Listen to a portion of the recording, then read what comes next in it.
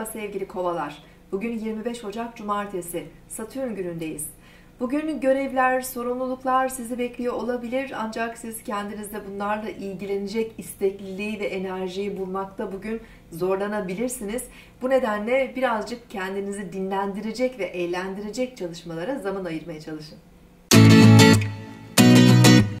Burcunuzu dinlediniz. Bugün 25 Ocak Cumartesi. Satürn günündeyiz.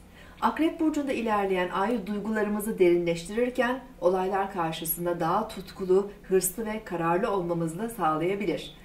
Ancak şüphe, kıskançlık gibi zararlı duygulara karşı da temkinli olmamız gerekiyor. Bugün kendimizi ifade etmemiz zorlaşabilir ve bazı engellerle karşılaşabiliriz gün içerisinde.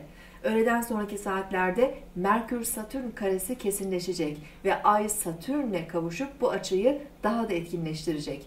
Özellikle otorite kavramları, e, aile büyükleri, olgun kişiler veya babamızla olan ilişkilerde bazı sorunlar ve e, iletişim konularında engellerle karşılaşabiliriz.